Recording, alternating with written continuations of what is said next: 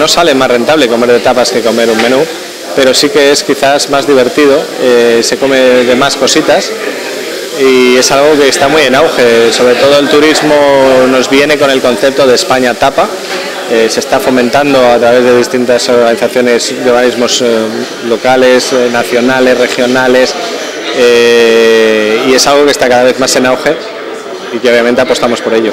Tengo que agradecer a las instituciones de, Valladolid, a la Concejalía de Turismo sobre todo, a nuestra concejala Mercedes, Mercedes Canta la Piedra, que apostaron fuerte por Valladolid, eh, consiguieron hacer un Valladolid de tapas, un, referente a nivel nacional y gracias a ella o a ellos tenemos eh, hoy en día Valladolid donde está. Para conseguir ese turismo gastronómico la entidad privada tiene que apoyar, que apostar por ello.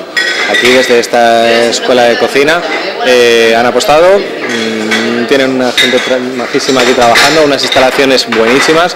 Yo creo que les falta quizás un poquito de apoyo institucional para poder desarrollar esas ideas y que no surjan de uno solo, que sea un poquito a nivel colectivo y creen ese referente. El volcán de microsistemas, puesto que así se llama esta escuela de cocina y le hemos dedicado ese pincho, y consiste en un caldito de papa con una papa arrugada, que lleva los dos mojos, rojo y verde.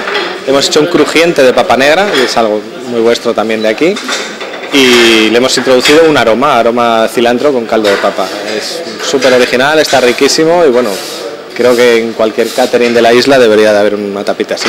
Yo creo que para que intente gustar a la mayoría deben de ser sabores tradicionales. Eh, si te digo que voy a hacer un sorbete de pitaya roja, a lo mejor me miras así como diciendo, ¿qué me vas a dar? Eh, pero si te digo que te doy un tigre tostón hecho con una pastita de morcilla, una crema de queso, una cebollita roja confitada, eh, los sabores no te son sorprendentes, te van a sorprender por lo bien elaborados que estén en este caso y por su presentación. Yo creo que el marketing es algo a tener muy en cuenta, que es algo que vende y que arropa y viste totalmente a, una mera croqueta, por así decirlo. Yo les he transmitido un poquito la filosofía que hemos cogido en Valladolid.